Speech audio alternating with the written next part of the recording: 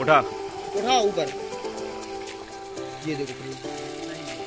frame सही है ये ऐसे लगा लगाई